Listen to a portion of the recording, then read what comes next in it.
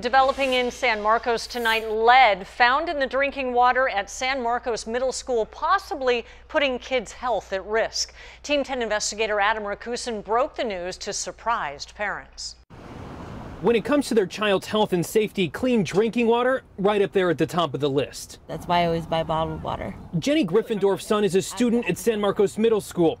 Results of a campus lead test came as an unwelcome surprise. I, I just don't trust the faucets. I mean, there's all kinds of stuff they're finding, and everything leads to everything nowadays. You know what I mean? You can't be too safe. That's important. I mean, if there's lead in it, then no one wants to drink that. Spokesperson for San Marcos Unified says they recently tested the water at three of their oldest sites Alvin Dunn Elementary, Richland Elementary, and San Marcos Middle School. Of the 15 samples, only one came back with a higher than acceptable level.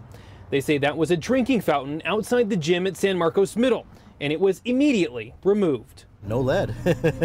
this isn't the first school district battling lead. Last month, 10 News discovered school officials in San Ysidro shut off the drinking water to three schools after testing found high levels of lead, copper, and bacteria in the water. Bottled water was being brought in.